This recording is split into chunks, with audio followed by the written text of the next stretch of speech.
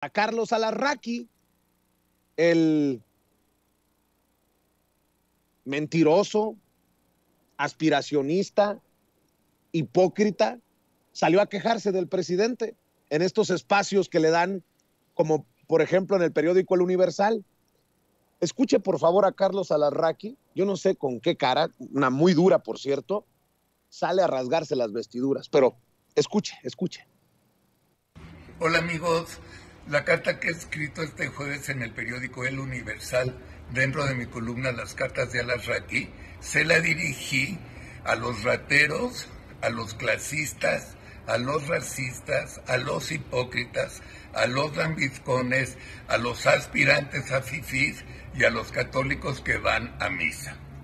Este, y antes de empezar la carta, como cada jueves les recuerdo, viralicen este video entre sus amigos, sus familiares, sus conocidos y sus compañeros de trabajo. Gracias como siempre. Bien, vamos a la carta. La cabeza de la carta dice, carta dirigida a los rateros, clasistas, racistas, hipócritas, lambiscones, aspirantes a fifís y a los católicos que van a misa. Y entre paréntesis, la marcha.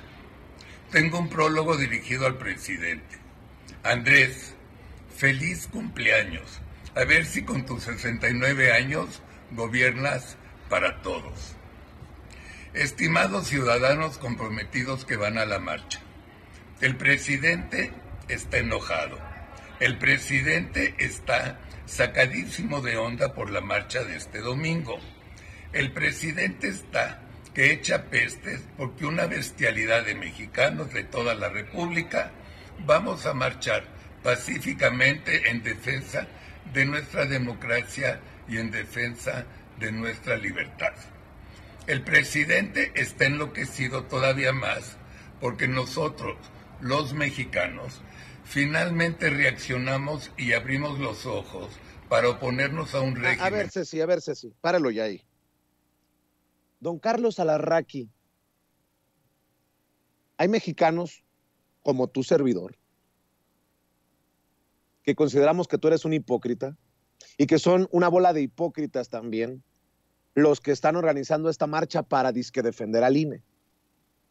Así que, ¿de cuándo acá te convertiste en vocero de los mexicanos para hablar por todos, Carlos Alarraqui? Hay millones de mexicanos que respaldamos esta transformación, que no queremos que tus amigos regresen a apañarse de esos cotos de poder, que no queremos que personajes como tú sigan mamando de esos privilegios. Así que, por favor, Carlos, déjate de tonterías y no la juegues al vocero de los mexicanos. Para